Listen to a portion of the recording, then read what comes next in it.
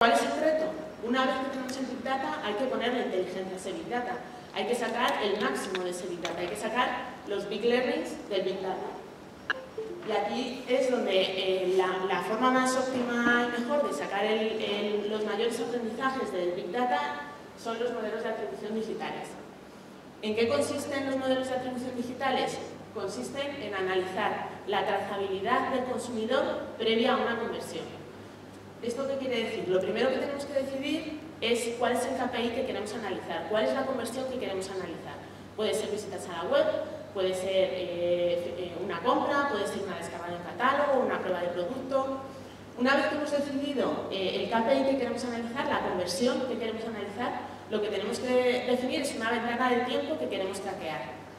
Y una vez que tenemos nuestro KPI y nuestra ventana de tiempo, lo que tenemos que, analizar y que entender y extraer información es la trazabilidad, todo lo que el consumidor hace previa a esa conversión en esa ventana de tiempo. Como nos acaban de explicar desde, desde Webrama, todo eso está totalmente traqueado y nosotros tenemos información de lo que cada individuo hace prácticamente minuto a minuto previo a una conversión durante toda esa ventana de tiempo.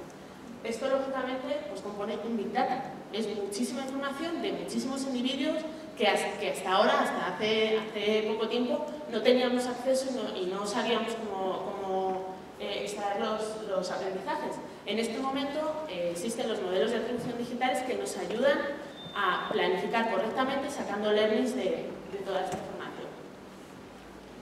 A día de hoy hay muchas metodologías para los modelos de, de atribución digitales. Hay algunas metodologías que son las más sencillas y generalmente las más comunes que lo que hacen es atribuir toda la importancia de la conversión a un único clic, que generalmente es el último clic. Lo que el consumidor ha hecho justamente antes de convertir es lo que se lleva toda la importancia. Por eso vemos, por ejemplo, cuando vemos cuántas visitas a la web me vienen de los buscadores. Eso es una atribución directa del último clic o podría ser, por ejemplo, el primer clic. Lo que el consumidor ha hecho, lo que ha desencadenado que ese consumidor finalmente convierta, que ha sido. Y a eso es a lo que le atribuimos toda la importancia. Hay otros métodos un poco más sofisticados un poco más complejos, como son, por ejemplo, eh, pues atribuir a todos los puntos de contacto con los que ha estado eh, en contacto el consumidor eh, el mismo peso, o dependiendo de su posición, o según nos acercamos a la conversión le vamos dando más peso. Pero lógicamente lo, bueno es hacer un modelo personalizado donde seamos capaces de atribuir el correcto peso a cada uno de los puntos de contacto por los que el consumidor va a pasar. Eh, desde Naina hemos desarrollado un modelo de atribución eh, digital que es eh, con propietario nuestro, que hemos desarrollado nosotros y que tiene unas características particulares. Por un lado es un modelo que está basado en, redes Bayesian, un modelo probabilístico que es capaz de atribuir el correcto peso a cada uno de los puntos de contacto. No es una atribución ni lineal, ni, temporal, ni por posición, atribuye exactamente el peso correcto a cada uno de los puntos de contacto. Pero además eh, tiene otras características, por ejemplo, tiene en cuenta el decay, sabemos que desde, desde el momento en el que hay un contacto del consumidor con un punto de contacto eh, hasta que ese consumidor eh, reacciona de alguna manera, hay una ventana de tiempo. Este decay lo tenemos incluido en nuestros modelos de atribución. Además tenemos en cuenta eh, qué es lo que ocurre en la trazabilidad de todos aquellos consumidores que terminan convirtiendo, pero también de los que no convierten, porque es importante entender qué ha pasado con esos consumidores que no han convertido. No solo nos tenemos que focalizar en aquellos que convierten, en aquellos, por ejemplo, que visitan mi web. ¿Qué ha pasado con aquellos que se han quedado en el camino? Pues es importante que también entendamos y analicemos qué ha pasado con, con estos consumidores. En definitiva, eh, lo que conseguimos con un modelo de atención digital es, por un lado, tener una medición de y ponerle inteligencia a todo este Big Data que en algunos casos nos abruma porque no sabemos qué hacer con tantísima información, eh, nos ayuda a medir, nos ayuda a definir un mix eh, de disciplinas óptimo. Una vez que conseguimos entender y analizar y extraer la mejor información de todo este Big Data, esto nos permite optimizar nuestras planificaciones y nuestras estrategias eh, calcular cuál es la mejor estrategia para la inversión y maximizar el rol. Y, por supuesto, con un modelo de, atribución lo que podemos es conocer a nuestro consumidor, entender cuál es la rutina que sigue, cuáles son los patrones en los que se mueve, de forma que lo podamos encontrar y lo podamos impactar de la forma más, más óptima. Y, desde aquí animaros porque tenemos eh, muchos clientes ya haciendo modelo de atribución y realmente es un cambio, es un cambio de visión y es, es un cambio en la forma de planificar y, y, se obtiene la mejor información de esta marabunta de datos que a veces eh, nos abruma, que es eh, todo el Big Data que viene del mundo digital. Esto es todo. Muchas gracias.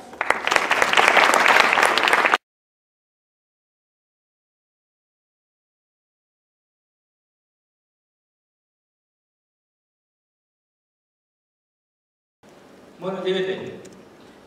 El DMP es el Data Management Platform y se va a hablar mucho de esto. Y esto viene con muchísima fuerza, muchísima fuerza. Y esto es, desde mi perspectiva, o como yo, la lectura que yo hago de un DMP es lo que nosotros conocemos como el CRM, ¿no? El CRM de una compañía es algo que tiene mucha información, pero no está conectado, no está conectado con la gestión de compra de media. como hablábamos antes, tenemos tenemos el pitch en la página de anunciante, vemos qué compran y por qué, cuándo lo compran, tenemos información de Comscore, si es hombre, si es mujer, pero el CRM no lo teníamos. El CRM, porque no es un ejemplo muy concreto, si nos planteamos un anunciante como, como IKEA, estoy convencido que si os preguntase si la información de, las cajas registradoras de IKEA, de Alcorcón, de Getafe y de Móstoles son relevantes, llegaremos a la conclusión de que sí lo son. Porque cada centro comercial vende una cosa. Hay un móvil sonando. Cogerlo, ¿eh? Hola. ¿Es mamá? Eh, ¿Es información relevante? Claro que lo es. Toda la información que sucede en los cajeros, en los centros comerciales, como ser IKEA, bueno, una gran tienda de móviles como ser IKEA, es relevante. Y toda esa información no trasladaba, no iba más allá de una información interna de gestión interna. ¿Qué tipo de gestión? Oye, pues en el centro X se venden más camas, compremos más camas. En este centro se venden más cocinas, compremos más cocinas. Pero si esa información yo la puedo trasladar y hacerla útil, puedo digitalizar ese dato y puedo hacer que si lo que más se vende son cocinas en el centro de Alcorcón, cuando esté comprando media, identifique quiénes son aquellos usuarios que están en Alcorcón y les lance ofertas de cocinas, estoy ligando línea de caja con compra Estoy interpretando qué está pasando en tiempo real en mis tiendas y estoy comprando la media en función de aquello que me interesa. Con lo cual puedo potenciar líneas de productos que quiero sacar o puedo identificar claramente cuál es el tipo de audiencia que estoy buscando en cada momento. De lo que estamos hablando es de conectar el CRM. Vamos a poner otro ejemplo, Mafra. Si Mafra tiene identificado que las familias que más le compran seguros de vivienda son unifamiliares eh, de, dos, eh, de, una persona unifamiliar o son matrimonios con dos hijos o lo que sea, es capaz de convertir ese dato interno y creerme que Mafre tiene millones, millones de datos, millones de datos, igual que el Corte Inglés, millones de datos, igual que lo puedo tener el Banco Santander, el BBVA y todas las empresas que podemos nombrar toda esa información interna no se estaba utilizando. ¿Sí? Si se estaba utilizando desde la perspectiva del análisis. Yo como equipo de marketing de, una gran cuenta, de un gran cliente, entendía quién es mi público objetivo, mis productos, hacíamos reuniones internas, em, entendíamos qué teníamos que planificar y cómo y por qué, y compramos. Compramos la forma tradicional que se ha comprado toda la vida. Si yo soy una, mm, no sé, L'Oreal y me quiero anunciar cremas, me anuncian el voto, ¿sí? La vida ha cambiado. Como ha cambiado de forma tan radical, todo ese proceso se puede acelerar mucho más y puede ser mucho, mucho más preciso. Y voy a avanzar más. Estoy muy lento. Hoy. Bueno, se trata de convertir el CRM de una compañía y conectar ese CRM a lo digital y hacer que técnicamente una plataforma tecnológica entienda qué está pasando en tiempo real en tiempo real en, el servicio de booking de, Iberia, en tiempo real en las compras y, y, en un banco, etc. Allá donde tenga yo una empresa y un producto y famoso Big Data, puedo convertir esa información en útil para mi compra de media. Va más allá que esto, ¿vale? Y ahora lo veremos con unos ejemplos un poco más, quizás, eh, explícitos o. El DMP lo que tiene que hacer es conectar datos propios, datos de segundos y terceros, Adobe, Nielsen, Comscore, eh, datos fuera de línea y datos sectoriales. Los datos fuera de línea es lo que estamos hablando ahora del CRM. Hay muchas cosas que no están conectadas a Internet, que sí lo estarán vía un DMP. Y el DMP es capaz de hacer además una función cross-channel.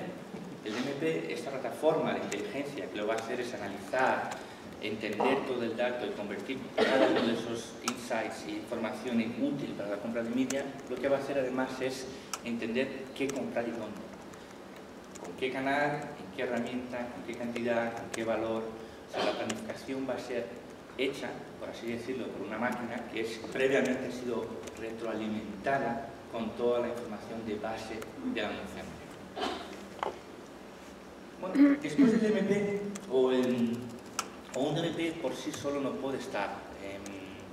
Un DMP necesita otra herramienta que es el DSP. ¿no? El DSP es un Demand Side Platform, que es ni más ni menos, para que nos entendamos, una herramienta que compra media. Nosotros desde Rocket Fuel creemos que el DMP que ofrecemos tiene que ser independiente, tiene que ser una herramienta que se puede conectar con cualquier DSP, no solo con el nuestro. Hay muchos DSPs. Entonces, si una empresa opta por tener un DMP, una tecnología capaz de hacer lo que hablábamos antes de First Part Data, el Big Data, el CRM, eh, su canal de marketing, su call center, su email marketing, su acción SEO, SEM, todas sus estrategias online estén conectadas en una sola plataforma que entienda y sea capaz de, de sacar el mejor partido a toda esa información y agregar toda esa información, para convertirla en información útil para comprar media, esa compra tiene que ser independiente.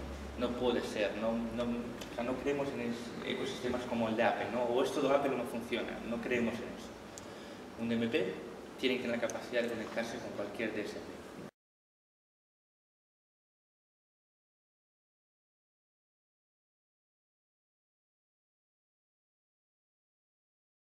nos enredemos en, en, palabras, etcétera, etcétera, no perdamos el objetivo que tiene que tener todo esto, que es que los negocios de nuestros clientes crezcan.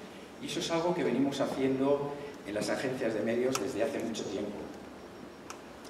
Eh, hay una parte que hemos tratado eh, ya desde que las agencias de medios dejamos de centrarnos solamente en, en audiencia, que es como nacimos, los que optimizábamos los GRPs, los que afinábamos mejor a las audiencias que queríamos eh, conseguir, evolucionamos, como hace 10, 15 años, hacia entender mejor los negocios de nuestros clientes. Y aquí eh, trabajamos con lo que ahora mismo eh, hablamos de datos agregados, Lo que ha ocurrido ahora es que todo el poder de, de computación, el marketing digital, Internet, eh, lo que nos da es nuevas formas de generar datos, que es lo que llamamos eh, Big Data o eh, Cookie Level Data o datos desagregados de alguna manera. Entonces, el área de intelligence que hemos creado en, en GroupM lo que hace es gestionar estos dos tipos de datos. El dato agregado de una manera y el Big Data de otra, aunque las técnicas de análisis muchas veces son comunes. En el, área del dato agregado llevamos, como os he dicho, mucho tiempo eh, ayudando a clientes como Ford, por ejemplo, a eh, entender cuál es el impacto que tiene su publicidad en su negocio. No nos quedamos a nivel de web, eh, no nos quedamos a nivel de descarga de catálogos, de un lead en la web, sino que vemos cuánto está impulsando la publicidad en las ventas de coches por modelo, cuál es el efecto halo que tiene una publicidad de un determinado modelo sobre el resto, les ayudamos a hacer una estimación de lo que van a vender con un determinado nivel de inversión publicitaria, construimos escenarios y vamos mucho, mucho, mucho tiempo. Y esto son cosas que no le interesa al de publicidad, al de marketing, le interesa al presidente. Y esto es muy, muy, muy importante. Lo mismo estamos eh, eh, ayudando a eh, empresas en el sector de telecomunicaciones, en el sector, por supuesto, de fast moving consumer goods, de productos de consumo, en el sector pharma. Más de 30 clientes están, eh, o estamos ayudando a más de 30 clientes con este tipo de análisis que están tradicionalmente muy vinculados a eh, la econometría o el análisis de series temporales. Utilizamos esto a dos niveles. Hemos, hablado, hemos ya oído hablar mucho del, del Customer Journey y del Attribution Modeling. Nosotros lo estamos utilizando para esto, para tomar mejores decisiones en el, en el terreno del performance, de qué canales digitales eh, tocar, y en el terreno de la segmentación en el terreno de la segmentación de audiencias, que es un poco el terreno donde utilizamos la DMP y luego obviamente para estos segmentos ser capaces de comprarlos en...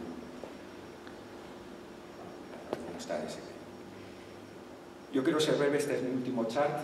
Eh, Big Data eh, es, un, es, un, territorio nuevo, que lo importante yo creo que es eh, que, lo, que lo pongamos en contexto con el resto de actividades de marketing y actividades de medios, actividades publicitarias que estamos haciendo con nuestros clientes.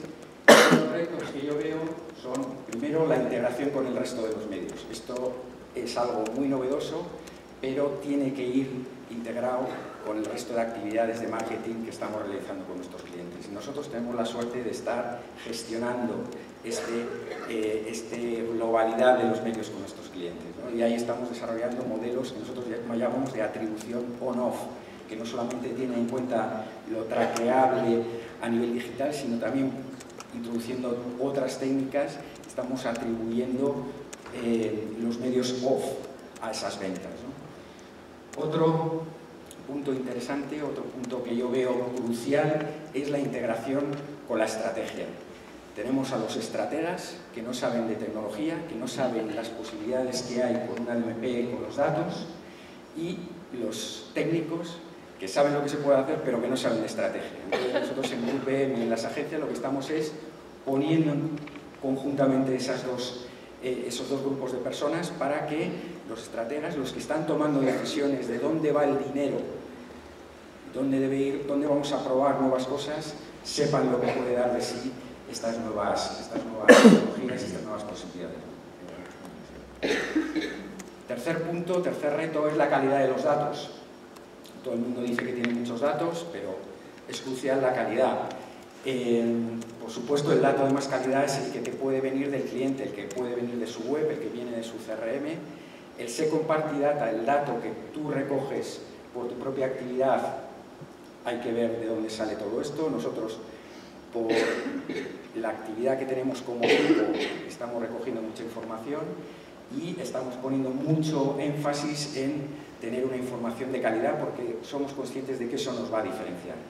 Y por último, la tercera, eh, el, el third party data, el hecho de pertenecer a WPP, lo que nos posibilita es tener acceso preferente a todo lo que es Cantar, eh, y hay una posibilidad de obtener también datos de, calidad y ponerlos al servicio de nuestros clientes. Y por último, el último reto es demostrar la eficacia. Eh, al final termino con el PQC. Eh, si esto no funciona, no ponemos dinero aquí. Y para que una cosa funcione o no funcione, lo tienes que comparar con el resto de cosas que estás haciendo. Y ahí nosotros somos muy buenos.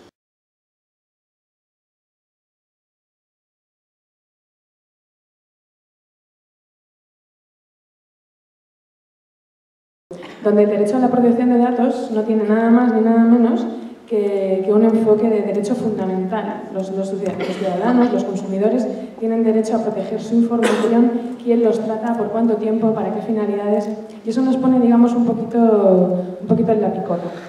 Además, hoy, hoy justo se está negociando en, en, el Consejo lo que va a ser el nuevo marco de protección de datos, un nuevo marco que, lejos de ayudar a la innovación y a empresas como las vuestras, que están aportando un valor a los, tanto a los consumidores como, como, a la propia economía eh, digital, pues viene a, poner todavía más barreras. Este nuevo reglamento habla o, o, expande, digamos, el concepto de protección de datos y prácticamente todo lo que hay en Internet es dato de carácter personal. Hablamos de que los identificadores únicos son datos de carácter personal, por tanto, los datos que tienen las cookies son datos de carácter personal, eh, la MAC, el UID, o sea, toda la información que de una manera directa o indirecta identifica a un individuo eh, es dato de carácter personal, lo que conlleva la aplicación de, toda la normativa de protección de datos. Pues si fuera poco, el grupo de autoridades eh, europeas, el grupo de trabajo del artículo 29, no tiene un nombre muy muy sexy, ha establecido que todos los métodos de anonimización ninguno es irreversible, con lo cual pues, nos lo pone un poquito más complicado. Luego, por otro lado, eh, la Unión Europea está desarrollando una estrategia de mercado único digital en el que sí, quieren fomentar el Big Data, ¿no? Eh, por la cantidad de empleos que va a provocar, por, las cifras de inversión, por lo que va a suponer para el Producto Bruto, pero bueno, digamos que, casa mal ¿no? con, con esta normativa que se nos viene en ciernes. Y yo quería plantearos, pues un poco, yo creo que ahora mismo estamos en un momento muy crítico desde el punto de vista de la industria. Podemos, podemos decir que, no sé si os acordáis o si estáis un poco al tanto de todo lo que sucedió con todo el tema de las cookies eh, a nivel europeo, cambió la normativa, se prohibieron prácticamente las cookies porque em, lo que solicitaban era un consentimiento expreso en el entorno de Internet. Es muy complicado vosotros lo sabéis mejor que yo, el parar una web, que es que esta refresque, que se espera que todos los servidores llamen a las cookies a la espera de que un usuario clique una casilla. ¿no? Bueno, pues eh, digamos que la industria en su día quizás tiró un poquito más de la cuerda de lo que debía, el regulador se fue al otro lado y luego nos costó pues casi un año devolver mmm, esto a un punto, un punto lógico. Entonces, yo quería bueno, pues, eh, empezar un poco con, con, una pregunta. Yo creo que al final, no sé si los, los usuarios eh, aprecian eh, todos los beneficios que obtienen de la publicidad digital. No, que van un poco más allá, evidentemente, de recibir el producto que están esperando, de recibir el coche del color que quieren ver, sino esta gratuidad de Internet. ¿no?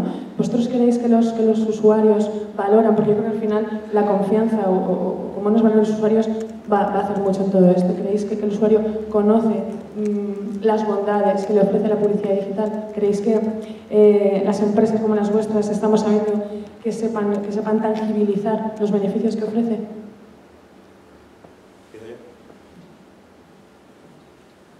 Bueno, en principio todo lo que has contado asusta, ¿eh? Vamos a tener que cerrar.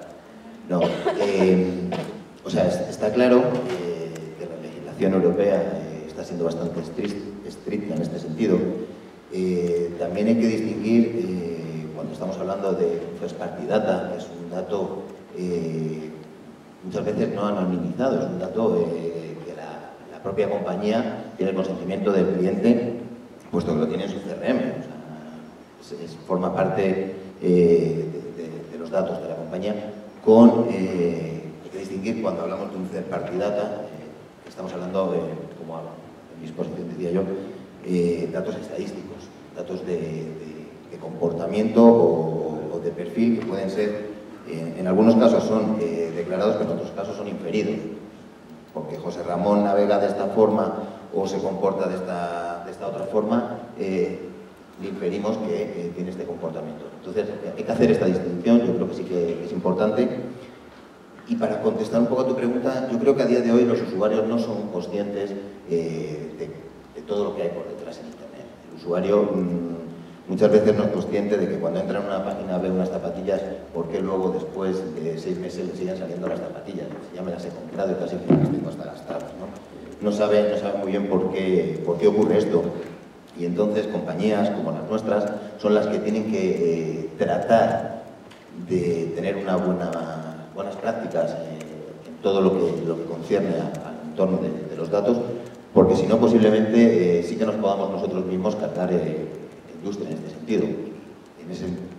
por esto, compañías como Gogorama sí que estamos muy mentalizados en esta línea, cumpliendo pues, las normativas europeas que, se han marcado y siempre muy pendientes de que en un momento determinado la legislación se pueda poner, los juristas se puedan hacer un poco más, más guerra y tengamos que, buscar alternativas a, los modelos de cookie, etc. Es un poco mi, opinión. Si queréis oír la mía. Eh, bueno, yo, un poco contestando primero a tu pregunta, eh, yo creo que la gente no es consciente de lo que tiene en Internet. Yo creo que eh, pagando a Telefónica o Vodafone por el acceso a Internet parece que ya todo es gratis, ¿no? Ya lo estoy pagando.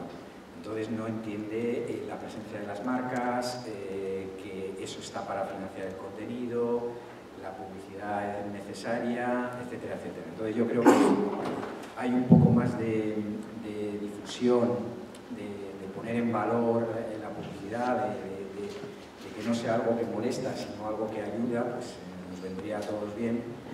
Y supongo que también desde nuestro, desde nuestro lado lo podemos hacer, pues no hacer demasiadas eh, cosas, eh, ¿no? cosas feas. Y, respecto a un poco el panorama que se nos presenta, yo la verdad, yo no quiero ir a España, es decir, en principio. Eh, entonces, los, y, y, no, se van a ir los cuarenta y pico millones de habitantes que tiene España, no se van a ir a otro país. ¿no? Entonces, tendremos que trabajar con la legislación que haya. Entonces, siempre con el a mi pico, si no es, oye, si no es con cookies, será con, con lo que nos deje la ley para sacar siempre el máximo partido de, eh, de, la publicidad, de las inversiones, porque al final las marcas van a seguir teniendo que, que, vender sus productos y comunicar con sus usuarios. Entonces, seguro que, con vuestra ayuda, con la ayuda de la gente que está haciendo la ley, la gente que estáis ahí eh, influyendo, pues que algo coherente y, coherente con el resto del mundo. ¿no? Yo lo que creo es que no se puede crear como una isla en Europa. O sea, si el resto del mundo está desarrollando, se está desarrollando todo esto, eh, una industria incluso del Big Data, aquí no podemos ser más papistas que el Papa y, hacerlo todo como muy, muy, estricto. Entonces seguro que os entendéis y seguro que sale una ley fantástica para todos. Eh, yo coincido por supuesto con vosotros en, el asunto de que yo creo que nadie está al tanto de, los beneficios que tiene eh, en el mundo digital y desde el modelo de atribución lo que sí que os quiero contar es nuestra experiencia de que efectivamente trabajando, haciendo ya un modelo de atribución con, nuestros clientes nos hemos enfrentado a, estos problemas en algunos casos y, bueno, que los hemos tratado de solventar y lo hemos conseguido pues con el interés del cliente y, bueno, pues con la existencia y demás hemos conseguido, si bien de España, eh, sacar adelante algunos proyectos en los que nos hemos enfrentado a temas legales porque efectivamente pues ahora mismo es eh, la situación en la que nos encontramos, pero, pero bueno, de momento somos capaces de avanzar, esperemos que, que nos ayudéis vosotros también y que esto nos ponga un freno a, seguir eh, avanzando y dando información importante y útil. Un poco más, estamos repitiendo más o menos lo mismo por aportar un punto de vista diferente. Eh, yo creo que el usuario no es consciente de, lo que tiene, pero bueno, creo que no es culpa del usuario, es culpa de la industria.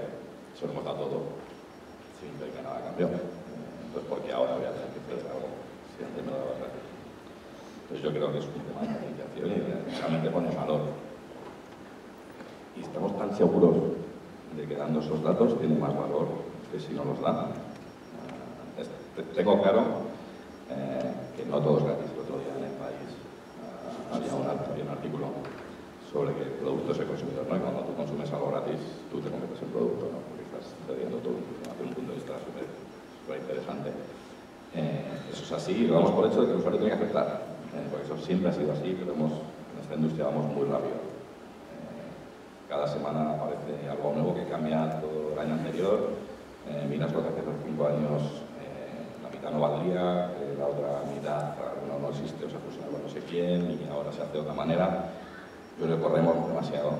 Eh, la industria de lo legal, digamos, el círculo de, lo legal, no es precisamente la industria más rápida para adaptarse a lo, que, lo que estamos haciendo y es que te pones a legislar y al año siguiente ya no vale la legislación porque ya ha aparecido la, la nueva tecnología, con lo cual yo creo que el tiempo, hace 10 años nos estábamos con la ley de protección de datos y con las bases de datos. No pasa nada. Está bien legislar, está bien regular, para que todos nos sintamos cómodos. Lo que pasa es que en este camino estamos como acelerados todo el día con pseudoinfartos. Eh, cada mañana de que hay que Bruselas va a prohibir la justicia, pero es que no puede funcionar sin cookies y todos lo sabemos, pero yo creo que hay que saber explicarlo y Bueno, yo os voy a llevar la contra de todos. Perdonad por ello. La audiencia sí es consciente de la tecnología y se queja mucho de cosas como el retargeting. Todos nos quejamos. de entrar a comprar una zapatilla que nos enseña una zapatilla 70 veces a la semana siguiente. Y de algún modo, no sé cómo, pero mucha gente, aunque no sean gurús, saben que eso se llama retargeting. Es curioso. Y si lo preguntas a una persona en la calle y dice, ¿has visto el vuelo de Iberia que has comprado para Vigo y te han machacado durante dos semanas diciendo que vuelvas a, Vigo? Y incluso saben que se llama retargeting. No son conscientes de todo lo nuevo. Todo lo nuevo que somos capaces de hacer en cuanto a hacer el mensaje relevante, incluso cosas como hacer un retargeting inteligente. Oye, yo he dicho 10 veces que vaya a Vigo, ya compró el vuelo, déjale en paz. Eso es capaz de hacer, somos capaces de hacerlo. Pero el retargeting ha molestado mucho, igual que ha molestado mucho las cookies. Las cookies no perdonan, las pop-ups en su día. El retargeting ha llegado a ser molesto. Y la audiencia más o menos conoce más de qué va esa historia de que yo visito algo y de pronto tiene la sensación o la percepción clara de que de alguna forma Internet es capaz de entender qué he visitado, qué he navegado y me enseña eso. Todos nosotros, nadie, eh, todos hemos sufrido o de alguna forma hemos vivido la experiencia de visitar una página web, ver un zapato y que ese zapato me siga. Y esa sensación lo tienen todos los usuarios. A lo mejor no saben todos que se llama retargeting, pero esa sensación la tienen. No tienen la sensación o desconocen todo lo nuevo que hay y todo lo nuevo que ha llegado y todo lo que es capaz de hacer Big Data, de, la compra programática y el TMP y todo lo que vendrá, ¿no? a su favor a la hora de hacer un mensaje relevante a él. Entonces, eso es algo que tenemos que vender mejor y que la audiencia tiene que entender que la comunicación con ellos va a cambiar y va a ser más relevante para ellos. Pero el, el PQC, ¿cómo se llama? PQC, PQC, eso va a imperar. Si no hay pasta y no queremos pasta, lo siento mucho, pero va a imperar. El tema de la regulación, eh, han regulado. Los reguladores han regulado. ¿Por qué? Porque sencillamente veían y se dieron cuenta de que se estaban cargando la industria. Había un avispado en Europa que quería ponerse la medalla de yo protejo al usuario y ese avispado ha desaparecido. Ha desaparecido. Ya nadie quiere salir en una foto diciendo que él ha sido el, promotor, el promotor de que la cookie no existe. La cookie es de las cosas más inocentes que hay. Más inocentes que hay. La cookie no tiene dato directo, es indirecto, como tú bien has dicho, pero la cookie no tiene nombre, no tiene teléfono, no tiene dirección, tiene un montón de cosas. A mí me preocupan mucho más cosas como, por ejemplo, tú vas y compras una línea telefónica en una tienda de Vodafone y firmas un contrato. Y la última cláusula pone, podremos compartir los datos con nuestras empresas asociadas. Las empresas asociadas son cientos. O vas al corte inglés, haces un seguro y dice, podemos compartir tus datos con las empresas asociadas. O te sacas una tarjeta de CEPSA porque tú vuelves y pon la misma cláusula. Y nuestros datos vuelan, pero vuela todo. Nombre, teléfono, dirección. Entonces, lo no digital es bastante más intrusivo que lo digital. Y de momento nadie ha puesto el grito en el cielo. Con lo cual yo creo que gracias al trabajo tuyo y muchos profesionales como tú que están haciendo, defendiendo la industria, y la industria en sí sola nunca va a sufrir el que alguien venga y diga la cookie, la cookie seguirá existiendo, vendrán nuevos mecanismos de medición, pero no, no, no me asusta los reguladores, una palabra. Bueno, pues me alegra mucho, es, es, positivo. ¿no? En cuanto a otra tecnología, eh, pues ya todos hablamos del fingerprinting, hablamos de, esta huella digital, hablamos de, otras técnicas. Eh, lo cierto es que el regulador, si bien es verdad que la legislación va siempre muy por detrás de la tecnología, es decir, eh, la ley no recoge este hash de, o, lo que puede ser el fingerprinting, ya las autoridades de protección ya se han apresurado a decir que la normativa sobre cookies también aplica al mundo fingerprinting. ¿no? Con lo cual, yo creo que, que al final esto se, trata un poco de, equilibrar la balanza. Por un lado, como, como comentaba Juan, yo creo que al final el, regulador tiene la obligación de entender eh, que la tecnología va como va, que las cookies son una tecnología neutra, que al final depende de cómo una determinada empresa lo trate y de, y de, todas las políticas que ponga para proteger esta, esta información y casi hacer un, una vigilancia como se lleva a cabo en otros países, que es una vigilancia ex post, es decir, eh, yo te dejo hacer, si lo haces mal te doy y si lo haces bien te premio. No sé ya si te premio, pero al menos te dejo trabajar. ¿no? Eh, yo creo que en, todo este entorno en el que todavía queda un poquito por, por, construir, yo siempre animo a sentarnos en las mismas mesas. El otro día, el jueves, estaba en, un evento legal, la cátedra Google, en el que estábamos todos abogados, eh, diputados, gente gente del sector, todos hablando de nuestro tema. Yo decía, aquí falta gente de industria, falta gente que, efectivamente, como tú, Juan Ramón, o como todos vosotros, explicáis cómo se está haciendo, cuáles son eh, pues los, los, los objetivos que, obtiene la gente y que además de tener internet gratis, que efectivamente, y, todos los servicios, y que Facebook no es una ONG, y que Google tampoco es una ONG, y que ni el país tampoco es una ONG, además de tener todos los servicios gratis, están obteniendo eh, pues todos estos beneficios. ¿no? Yo creo que al final es una cuestión de, de, tres elementos. Por un lado, el usuario. El usuario no es tonto, no le podemos tratar como tonto y le tenemos que achuchar un poco para que también ponga de su parte. ¿no? Es decir, todo el mundo ya ve el aviso de cookies. Yo muchas veces cuando doy clase pregunto, ¿cuántos de vosotros habéis configurado vuestro navegador para dejar de recibir cookies? Nadie. Nadie ha configurado su navegador para eliminar las third-party cookies, con lo cual, por un lado, creo que el usuario tiene un papel muy relevante. Por otro lado, las empresas, nosotras, también tenemos un papel muy relevante precisamente en generar esa transparencia con el usuario, en decirle, trato estos datos para ti, tienes estas opciones para eh, manejarlos, los anonimizamos para pasarlos a los DMPs, los anonimizamos de estas maneras. O sea, yo creo que al final una serie de políticas tanto internas como externas de transparencia y por otro lado, por supuesto, la regulación. La regulación, eh, la carga regulatoria va a marcar el hecho de que nosotros podamos seguir innovando y podamos seguir eh, trabajando en nuevos modelos de negocio que en el fondo sean eh, pues, eh, beneficiosos para, para, la economía española. ¿no? Y bueno, yo quería rescatar mmm, dos cosas. ¿no? Para vosotros, ¿Creéis que la confianza de un usuario, porque después de todo el tema este de Snowden, la gente está súper alertada, el otro día leía un tuit de esta persona que decía, puede que a ti no te importe el Big Data, pero al Big Data le importas tú, ¿no? Yo creo que al final la gente es cada vez como más consciente, ¿no? De todo el tratamiento de datos. ¿Vosotros creéis que, que la confianza que podemos generar en los usuarios puede ser un beneficio? Porque yo creo que es algo, que la confianza es algo absolutamente monetizable.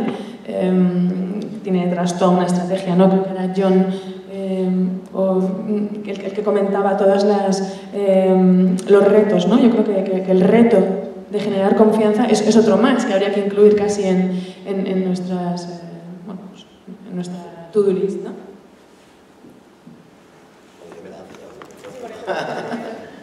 bueno, creo que esa es la clave. O sea, más que, más que prohibir, la clave yo creo que está en informar. O sea, al final, eh, nosotros como usuarios vamos a recibir publicidad no gratis, por lo menos de momento, y, y, publicidad vamos a recibir. Entonces, muchos de nosotros, eh, si estamos bien informados de eh, que porque a mí me suben una cookie que, que me analiza un poco mis, mis, intereses, la publicidad que se me va a mostrar siempre va a ser más afín a mis gustos, si estoy bien informado eso no me va a dar miedo.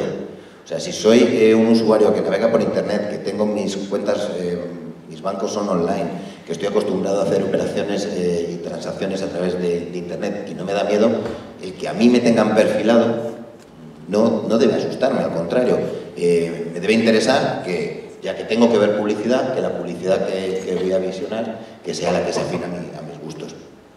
Entonces, eh, creo que básicamente lo que falta es eso, informar.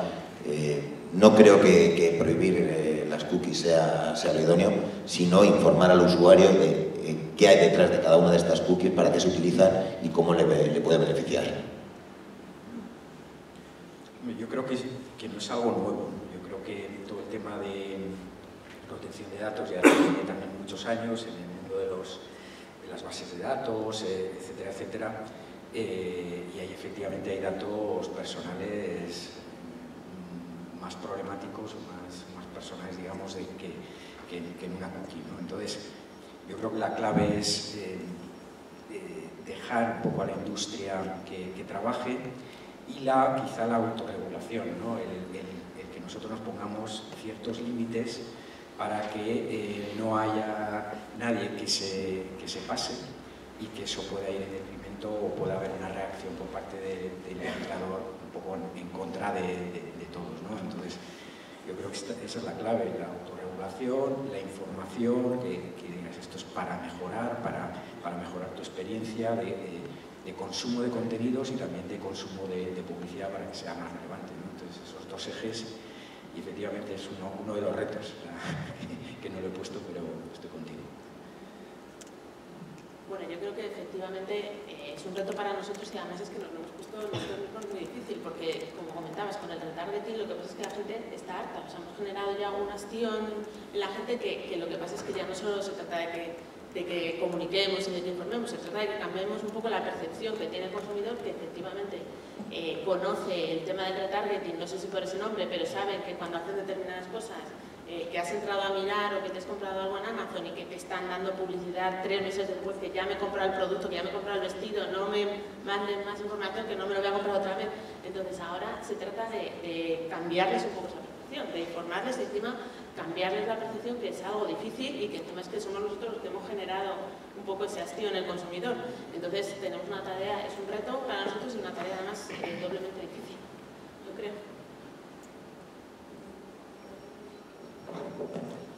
Es que el tema de confianza, el tema de confianza da el tiempo. O sea, trabajar, puedes acelerarlo y puedes comunicar que realmente no haces nada. Es que sí haces con su información. Es que sí lo estamos haciendo y sí lo queremos hacer. El tema de que molestan a los usuarios es una lucha que yo siempre tengo, ¿no? Uh, la policía molesta. Toda. Absolutamente toda. Uh, no solo la digital. ¿eh? O sea, la televisión, cuando estoy viendo mi serie, me cortan 12 minutos. 12, cuando no un poquito más. Incluyendo autopromos. Eh, sobre el discurso que yo estaba viendo, a mí me molesta mucho. O sea, que estoy acostumbrado y nacido con ello. Y sé lo que es. Estoy acostumbrado, vivo con ello pago una revista, pago, ¿eh? No me la dan gratis en el kiosco. Y hay 50 o 60 páginas de publicidad que estoy pagando. A mí me molesta, pero estoy acostumbrado. Lo mismo con la radio, lo mismo con el mobiliario urbano. Y lo mismo en digital, eh, los pop-ups, el formato más odiado del mundo, el que mejor funcionaba en retorno. De lejos, de lejos. El retargeting molesta, molesta que te caga sobre todo con la botica de selecenia y lo dices, joder, ahí le puedo poner frecuencia, por, por favor. Ya, pero es que funciona. Entonces yo creo que nosotros tenemos que aprender eso, ese no molestar, creo que tenemos que aprender la frecuencia de las campañas, tenemos que aprender un poco, retroalimentar nuestros procesos y ver dónde están, eh, digamos, esos límites, intentar molestar lo menos posible, pero molestar, vamos a molestar toda la vida. Porque la gente quiere consumir lo que quiere, contenido, su entretenimiento, eso o lo pagas por segundo gratis, te conviertes en producto. Sí, pero yo creo que elementos diferentes, ¿no? Por un lado está la interrupción o no, mmm, que evidentemente pues sí a todo el mundo le molesta, ya pasa hasta en el cine, yo voy al cine ahora y antes de la película me calzan 15 minutos de publicidad y estás pagando 9 euros por la entrada, ¿no?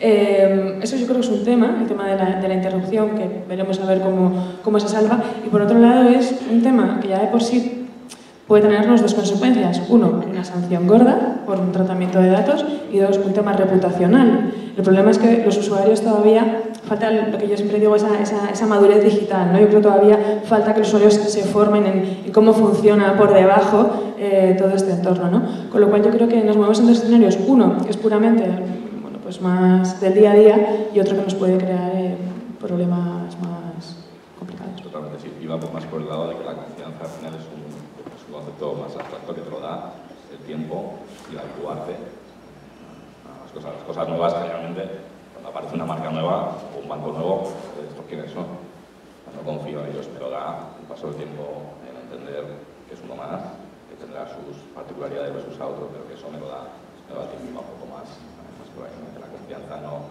no te la regalan sino que te la tienes que ganar. Probablemente la puedas acelerar en una comunicación eh, digamos el proceso pero yo creo que las cosas tiempo, igual que la regulación, se irá ajustando. Eh, los, usuarios se ven comercio electrónico hace seis años nadie metía una tarjeta en Internet.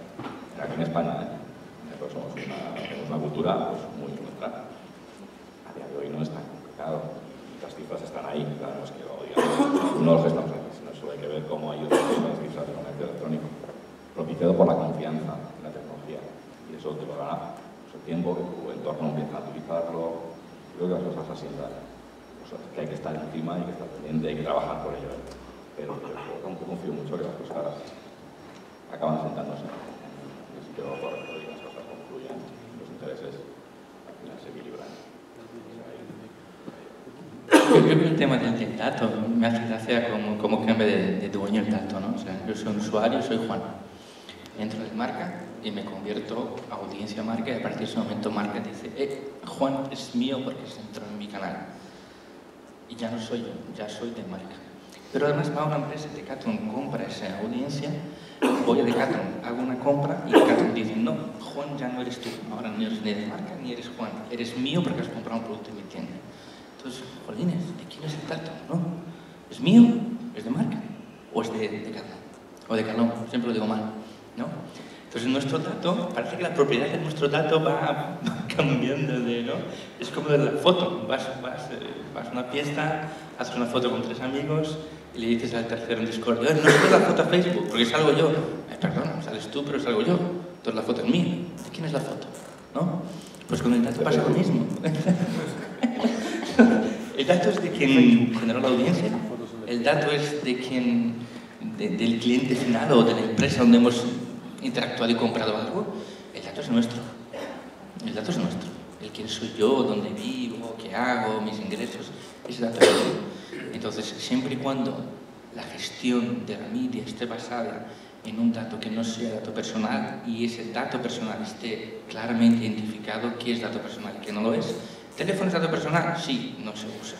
¿La dirección es dato personal? Sí, no se usa. Costumbres, huella digital, navegación, comportamiento, tendencias, probabilidades estadísticas. Hasta ahí hay un pase. Ahora, mi teléfono móvil es mío y eso con eso, de hecho, la industria de la media no se basa en ese dato. Con lo cual yo creo que la, la media en general está bastante sana en cuanto al tratamiento del dato personal. Yo, no sé, me siento cómodo con lo que veo hoy día y con la regulación actual. Pero, bueno, un segundo. Por, mi banco utiliza mis datos personales para cuando yo me identifico. Eh, y de hecho lo agradezco porque si tengo que volver a rellenar todo lo que tengo que hacer, al final yo entro, ya sea por mi móvil, hable con el PC, entro, meto mi clave, eso sí, pero me tiene absolutamente identificado, vale. Pero ¿por qué diferenciamos el media de la operación de una web? Es decir, si ING, es, es mi banco actualmente, ¿por qué puedo utilizarlo cuando estoy en un entorno, digamos, en su web y no cuando se quiere comunicar conmigo un contexto publicitario, lo que llamamos una competencia. Ese dato personal mío, sabe que soy yo, sabe qué productos tiene míos. Lo no? usa cuando entras en ING, en su entorno privado. ¿Y por qué no fuera? Si soy yo, somos él y yo, no nos estamos comunicando a nadie más. Eso. Si él lo hace vía un DMP comprando tu cookie sin identificarte al tercero, lo puede hacer. Si él dice, vale, yo quiero comprar, sé que es, perdón, te vas, ¿eh? Sé que Sergio está navegando la visión por la marca, le quiero importar con un mensaje, pero no le digo a marca quién es Sergio, solo le digo a marca, quiero que este cookie lo pueda hacer. Sí, efectivamente es lo que os quería comentar. En el fondo todo esto se puede hacer. Eh, eh, bueno, en el fondo y en la forma. Eh, tu banco se puede comunicar contigo para, para, que no tengas que volver a meter el PIN, también te puede ofrecer publicidad, también puede trabajar con un DMP, también puede hacerte un login social, eh, puede hacerte una app que además te, te monitorice o te traque por dónde estás, se puede hacer todo. ¿Dónde está la clave? Pues yo creo que un poco en, en, unas políticas de privacidad para los usuarios en el que eh, le expliques muy claramente eh, qué datos recoges, para qué finalidades, que los vas a comunicar o no, que los vas a anonimizar, lo comentaba, lo que comentaba Juan. En el fondo hay tres escenarios. Un escenario estadístico, eh, oye, pues eh, en el barrio de Salamanca eh, compran sobre todo en la población china o rusa a las 3 de la tarde. Pues eso no tiene ninguna implicación eh, en materia de privacidad. Luego usa un, una zona intermedia que es eh, una, una, singularización. ¿no? Las mujeres de 30 a 35 años de la zona de Madrid les gusta pues, el deporte y, la vela, ¿no? Por ejemplo, y luego este último escenario, creo, en el que estamos nosotros, que es recoger mucha información sobre una determinada persona para ofrecerle eh, una determinada publicidad, ¿no? Ahí también es posible eh, hacerlo bien disgregando estos, estos datos y sobre todo, como os decía, con una buena política de privacidad. Con lo cual, sí, tenemos detrás al, al, al watchdog, al, al, al regulador, mirándonos así fijamente, eh, pero bueno, yo creo que que, los gestores de la publicidad, todos vosotros a, nivel asociativo también estamos trabajando. Yo creo que cada vez eh, estamos sabiendo cómo trasladar mejor todas estas políticas, porque al final todos tenéis vuestros abogados in-house, vuestros despachos de abogados que os asesoran, todos estos temas, pero yo creo que hace falta eh, no solamente ser, sino parecer, ¿no? Y, y, que el usuario sepa pues, eh, todas esas cosas que, que, que hacemos por ellos.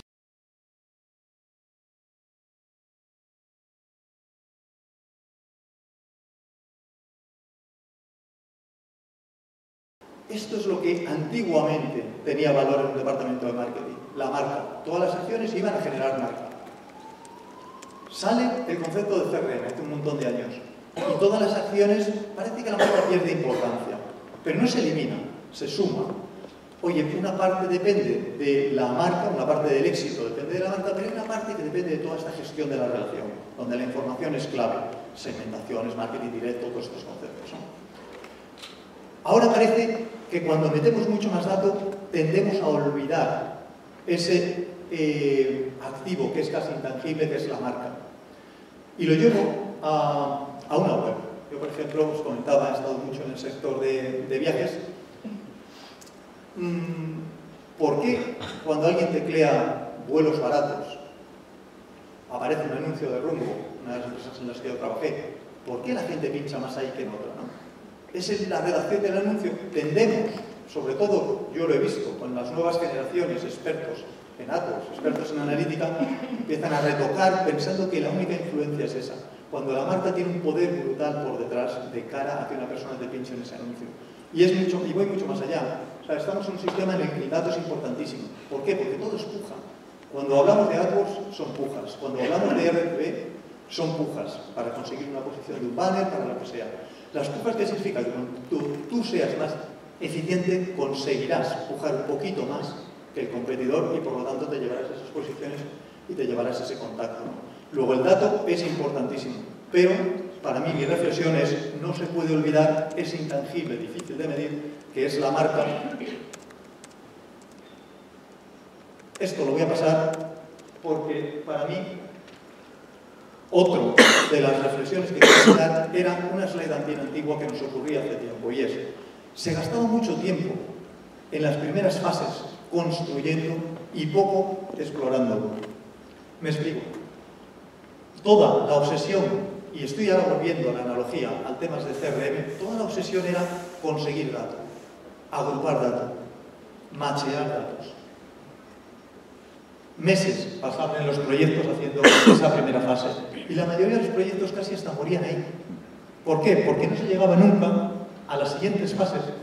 Obtención del insight, análisis, aplicación de eso, o que en un call center utilizaran esa información, que es lo que realmente aportaba valor. Y yo creo que ahora, y por eso lo titulaba ¿no? esta presentación de este, como la historia se repite, que al final veo que algo parecido está pasando. ¿no? Hay veces que oyes eh, hoy es que la gente está demasiado centrada en agrupar esos datos, en conseguir esos datos y no realmente en ver cuál es el uso que le quiere dar a esos datos.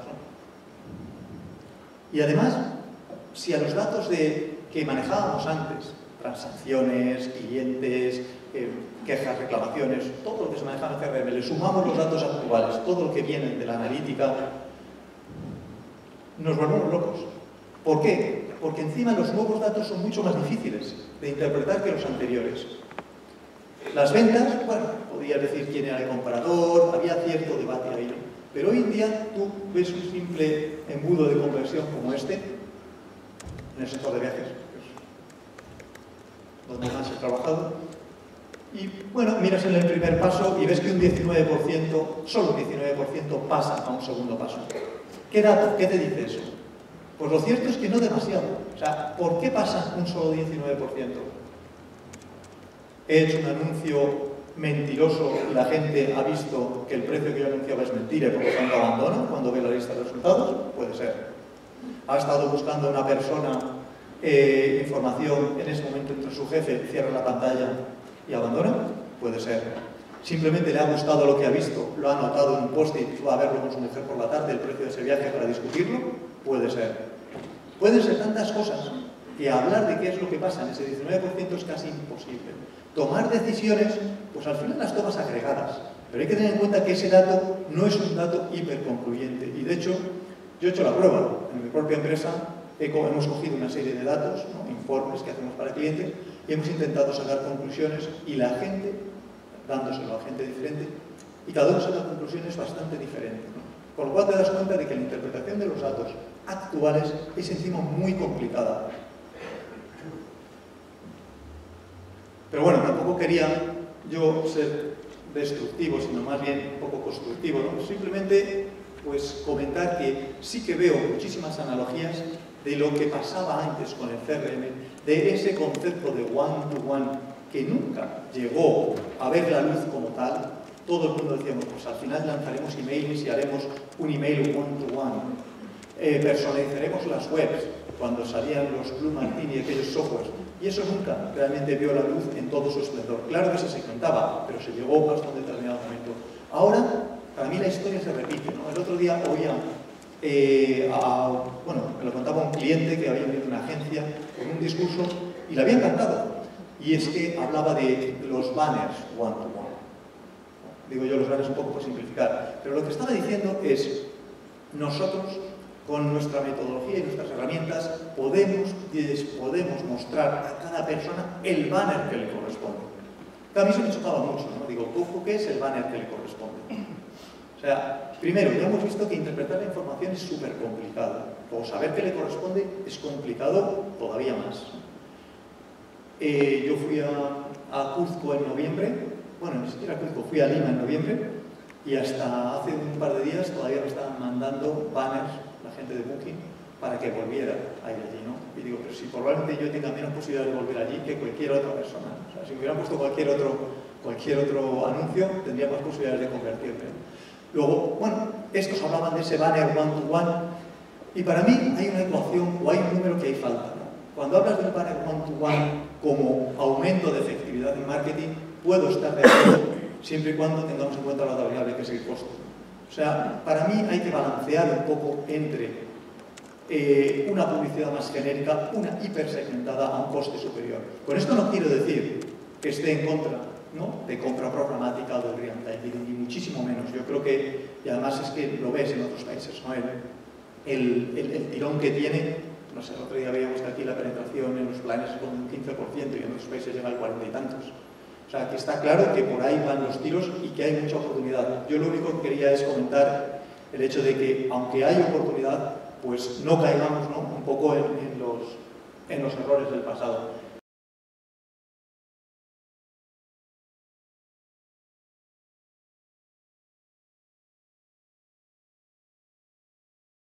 Pues algo que yo creo que es fundamental es que deberíamos dar un enfoque digital, un enfoque marketingiano, tuviera un enfoque más desde el punto de vista de la publicidad convencional. Entonces, el primer, la primera pregunta que me hacía es, más allá de Big Data, ¿qué es la publicidad?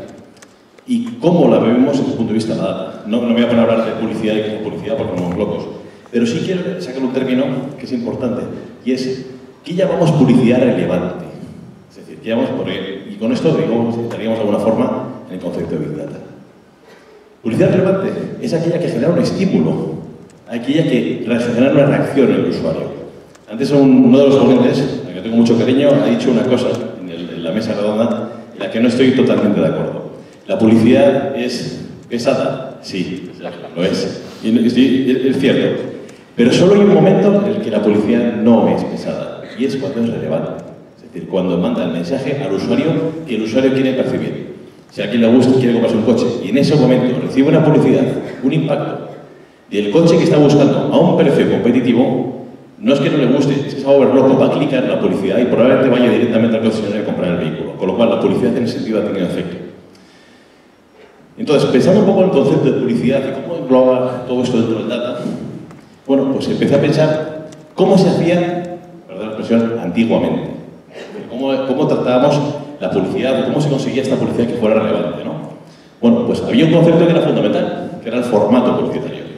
Hemos hablado de formatos pop-ups, formatos... Eh, también se ha comentado una cosa interesante, el formato pop-up es un formato desastroso, un formato horrible, generaba un ratio, un resultado muy bueno, pero no solo en clic, que mucha gente diría, eso es por error. No, en conversión también, en conversión. ¿Por qué? Porque al final se veía, y para aquel que era relevante tenía ese efecto, y cuando se medía, se, se hacía la medición, te das cuenta que eso funcionaba. Con lo cual el formato al final es fundamental. Y antiguamente, perdón la expresión, se utilizaba tres formatos rich media, brand day, formatos que fueran notorios. ¿no? Hay otro concepto, el target, publicidad targetizada, publicidad que va al perfil. ¿Cómo se conseguía esto? Bueno, pues a través de verticales, de redes publicitarias por la que, de la que yo, por ejemplo, venía, emailing, y al final se consigue el usuario que estamos buscando, ¿vale? el usuario que, es, que es el público objetivo de nuestra campaña. Y finalmente, como no, el momento adecuado. el momento de la compra. Es fundamental. Ahí es cuando realmente, cuando el usuario está en esa fase final del panel, quiere comprarse el producto, que está tomando la decisión de compra, si en ese momento recibe un impacto publicitario, es vital, es cuando realmente va a ser útil, y va a tener efecto sobre, sobre él. Bueno, a fin de cuentas, todo eso sí, hasta que entonces llegó ella. ¿Y quién llegó? El Big Data. Aquí tenemos al gran Big Data. Es un poco lo que hemos hablado aquí, ¿no? Entonces, esa fue la conclusión que saqué cuando me, esta y dije, ¿yo qué, qué puedo hablar? ¿Puedo hablar de Big Data? Digo, además me dijeron que sepas va a estar en la posición, una de las últimas posiciones, lo cual llegaré a la conclusión que os he contado al principio. Digo, ya lo he contado todo sobre Big Data. Lo he contado todo. ¿Qué voy a contar yo de nuevo? Bueno, pues el punto que veo yo realmente es una conclusión un poco drástica, y es que he venido aquí a agarrarme el Big Data, así de claro. Es decir, ¿el Big Data no funciona? No. ¿El Big Data como lo entendemos no funciona? Quizás sí. La opinión que tenemos es esta. Es, ¿Es realmente Big Data la solución a todo? Depende, como siempre, esa es la respuesta. En Maxus nosotros vemos un poco Big Data como algo así. Es decir, es un poco la sensación que se nos queda. Datos, datos, datos y más datos. Y a fin de cuentas está muy bien. Y ahora mismo es un poco relevante, es un poco relevante. Todo el mundo habla de Big Data, todo el mundo quiere estar ahí, todo el mundo quiere recibir información, datos, etc. Pero es un problema, y es que al final tanto dato, tanta acumulación de datos y tanta análisis es lo que lleva al final a una expresión que se llama, se llama menudo que es la parálisis por análisis. Es decir, tanta información, tanto, tanto, tanto que al final nos bloquea. Con lo cual, nosotros en Maxus hemos decidido inventar un concepto que se llama Fresh Data. ¿Y qué es? Lo preguntaréis todos. Bueno, pues ahora vamos a ver, y aquí se me voy a poner un poquito más técnico, pero no mucho realmente, os lo prometo que va a ser un poco más sencillo. Fresh Data es una iniciativa, es un proyecto, es un departamento ya, es una marca registrada, está registrada, la tenemos ya registrada en, en, el, en el... Bueno, ¿qué es Data? Bueno, pues una iniciativa básicamente que lo que hace es recoger todo lo que realmente hace, lo que hace el Big Data.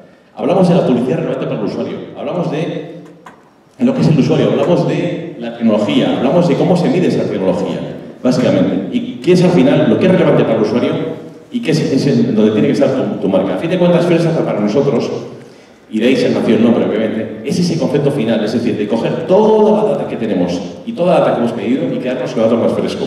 Y cuando decimos el dato más fresco no es el único dato, es un dato más, más relevante y además más o menos caducado. De toda esa información que medimos, podemos recoger, pues como ha dicho John antes, recogemos 10, 15 millones de, de, de visitas y 10 de interacciones al día. De esas 10, 15 millones de interacciones, a lo mejor las que nos marcan son solo el 20%, que son realmente frescas, depende de la marca, obviamente. ¿no? Una marca de coches que quiere comprarse un coche, pues el usuario decide, toma esa decisión a lo mejor en una semana, semana y media, después de unos 3 meses de consideración y 6 meses de búsqueda. Con un viaje, a lo mejor el periodo es más corto. Lo que procuramos de alguna forma es intentar analizar el mercado y extraer ese dato precisamente para que en ese momento justo, en ese momento adecuado, es cuando estemos presentes y se lo podamos comunicar a nuestros confiantes. Creemos que Fresh son tres elementos esenciales. Tres, tres, preguntas a las que debemos responder. Lo primero es el cómo. Bueno, pues el cómo ya se ha respondido aquí. De hecho, bueno, pues aquí trabajamos con nuestra propia DMP. ¿DMP cuál es? La de Turbine, la que ha comentado antes John. DMP es en, Turbine, es una DMP propia, es una DMP muy eficiente, muy potente, probablemente una de las más potentes del mercado, porque lo que está haciendo es analizar el tráfico que se está produciendo en tiempo real, lo que está pasando en tiempo real en todas las campañas de Group M en España y a nivel internacional, por supuesto. Toda esta información la vamos procesando y vamos aprendiendo sobre ella. Que recogemos mucha información sobre ella. Estamos controlando aproximadamente casi, casi, no, digo, no, no me atreveré a decir el 100, pero casi el 100% del tráfico que hay en España concentrado en los principales diarios, principales portales, redes, etcétera, etcétera, etcétera, top 500 consumos. El dónde, fundamental. Hemos hablado de DMPs, hemos hablado de compra programática. Y la verdad es que un concepto que no sabía hasta ahora es ese miedo que están teniendo las marcas, que es un miedo que deberíamos ir superando, es un miedo eh, quizá propio de la inmadurez, y que esto deberíamos ir salvándolo, pero las marcas todavía tienen cierto miedo a lanzarse a la programática y que su campaña sea vista en entornos donde no están, no voy a decir entornos que sabemos todos que no podemos entrar, o a lo mejor la pornografía, pero sí en entornos que a lo mejor la marca se siente incómoda. Y esto precisamente es algo, es una realidad. Eso por desgracia sí. Entonces, desde algún punto de vista, nosotros lo que procuramos es trabajar este entorno de brand, de brand safe. Entendemos que al final la marca tiene que vivir en un entorno de tranquilidad. ¿vale? Entonces, desde Fredata, ¿qué ofrecemos? Bueno, pues un entorno de esa tranquilidad. Lo que trabajamos es eh, con Saxis, que es el grupo igualmente, y al final tenemos acuerdos cerrados con todo el mercado. Aquí tenemos acuerdos cerrados. Compramos en programática, son private eh, agreements, y lo que hacemos es compramos ese entorno con las características de la programática y, por supuesto, con nuestra base de datos. Encontramos al usuario en el momento adecuado cuando lo queremos encontrar. Y al fin de cuentas cubrimos ese 98% de la audiencia que hablábamos, pero con una ventaja. La ventaja objetiva es que el usuario, el, perdón, el anunciante sabe que siempre, siempre su marca va a quedar seguro. Y la, final, la pregunta final es ¿por qué? Bueno, esto lo decía yo muy bien antes. Pues sí, ¿por qué? Es decir, pero no es por qué vamos a hacer esto, realmente es por qué vamos a invertir aquí, por qué vamos a invertir allá, por qué vamos a tomar este camino, vamos a tomar otro. Aquí la clave es tener un equipo experto